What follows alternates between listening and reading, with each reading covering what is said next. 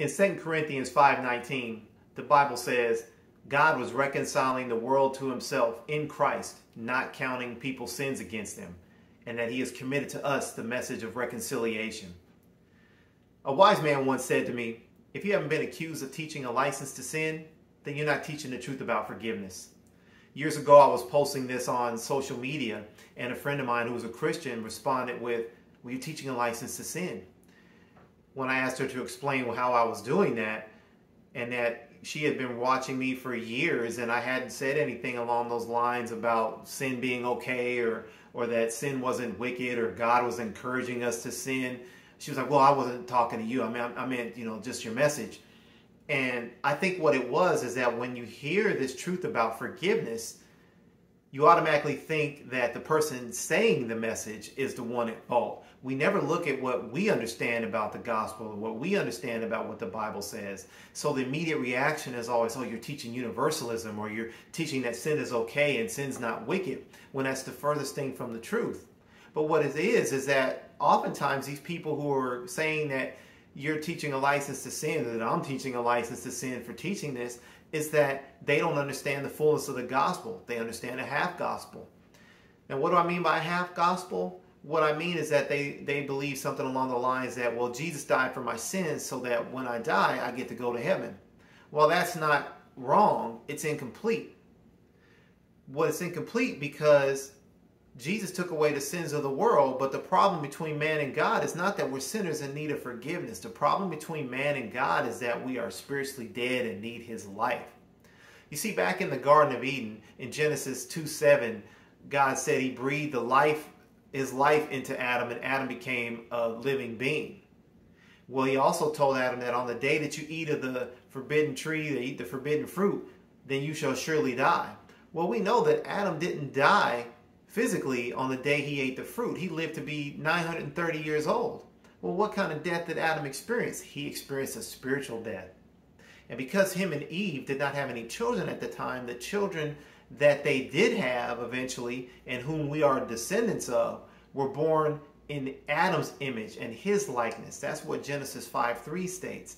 So everybody is born alive to the world, but spiritually dead to God.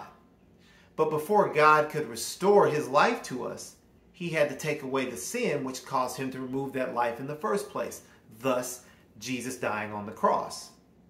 But when we believe in Jesus, when we accept his salvation that he offers, we are born again of the Spirit of God. That means that we are restored, we have the Spirit of God restored to us. God's life is restored to us. And in that restoration of life, that is salvation.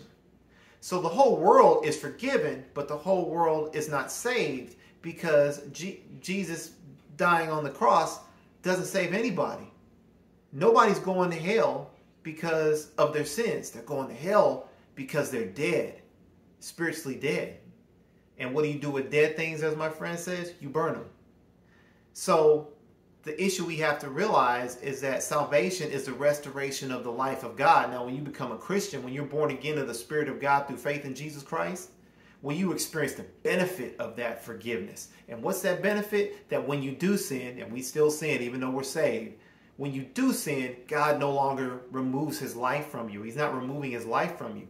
So that life that you have, that his life indwelling you, is an eternal life because the forgiveness on the cross is an eternal redemption. That's the benefit of the death of Jesus Christ. That's the benefit of the cross. And then what we have to step over, the threshold we have to go over, the, the belief we have to have is this fear that saying that the whole sins world, the, the sins of the world are, are forgiven, that is a that that scares us because we get thinking that oh man we're teaching universalism or or we're encouraging people to sin or God saying it's okay to sin and all that stuff, you know, and that's not the case. What it is saying is that God has removed the sins of the world so that there's nothing preventing you other than your belief from coming to him for salvation. That's how much he loves us. That he's done everything short of forcing you to be in his presence, forcing you to accept his life. That's love. He's still giving you the option to accept it, but he's not forcing you to do it and he's taken away something that you can't overcome. You, you don't have a life to give, as we've talked about, that will pay for the, the penalty of sin.